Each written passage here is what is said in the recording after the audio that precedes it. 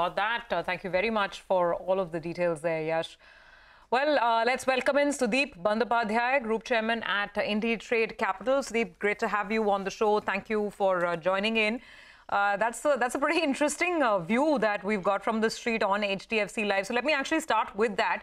Uh, this has been a hotly debated stock and the kind of price damage that we've seen. I mean, the budget annou announcements and even before that, it's been quite a laggard. Do you think a turnaround is in sight?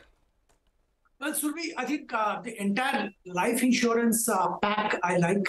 Uh, I believe uh, fundamentally nothing has changed uh, between what we were all talking about, uh, let's say, you know, one year back and now. the rationale that we are grossly underpenetrated as a country, and there is significant scope for expansion as far as life insurance business is concerned, Uh, definitely uh, remains. Uh, yes, there were challenges during COVID, and the claims uh, on account of the loss of life uh, as far as COVID is concerned. And pretty much uh, the entire life insurance industry did have their own set of claim ratio going up and challenges as far as valuation is concerned. The budget, you know, the, the, the, change made in the budget as far as, you know, higher value insurance policies are concerned, our belief is that it won't have a long-term impact. It will require some amount of adjustment uh, at most of the life insurance companies, uh, but it won't have any significant long-term or medium-term impact on their performance or uh, the margins. Uh, so the uh, the logic for buying an insurance company for long term does remain. As far as HDFC Life is concerned, the Exide Life acquisition and uh, you know absorption does give it a leg up. And yes, valuations are uh, still, uh, uh, you know, kind of elevated if you compare with other things. But I think uh, considering the growth potential, HDFC Life and even SBI Life do look extremely good at current valuation. Okay, let me just put out some stocks, Sudip. Uh, good afternoon, and uh, throw the question your way.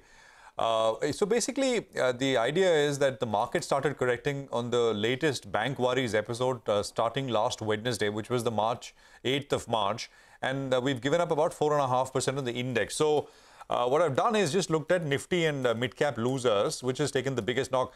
And mind you, it doesn't look prima facie that the corrections have got anything to do with, uh, or they have, they're directly, or even actually in some cases indirectly related to what's happening uh, with a broader risk of, that is bank-related worries. But IndusInd is down about 13%.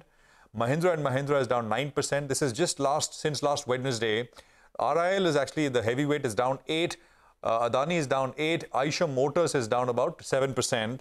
And then uh, losers, uh, these are the gainers. I mean, a few of them, BPCL, Tech Mahindra, Te uh, Titan. Uh, but uh, the other mid-cap losers, Astral is down big time.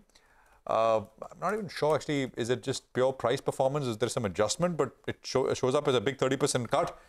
Patanjali is down 12%. We know the reason, of course, news flow related and uh, Union Bank and Canara Bank are the others, which are down 12 and 10% uh, respectively.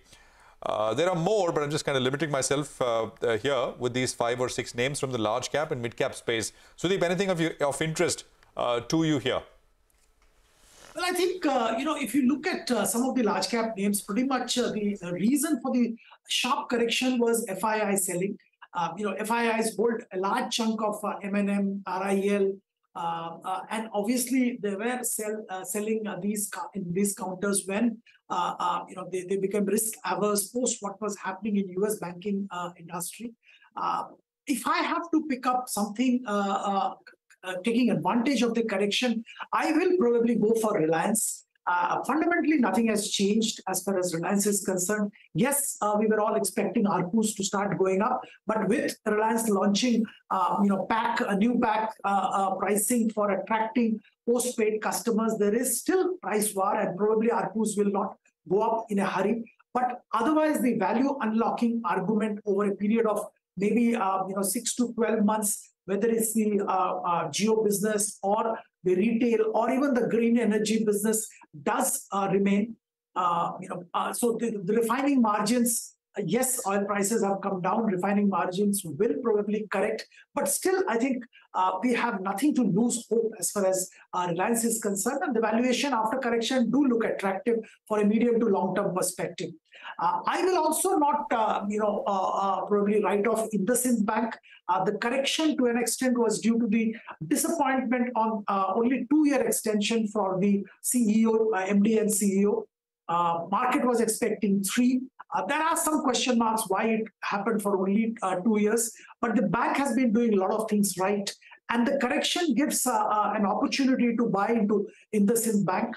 Uh, it's slightly moved up today, but uh, still the logic remains that fundamentally the business is doing well and the growth levers are intact.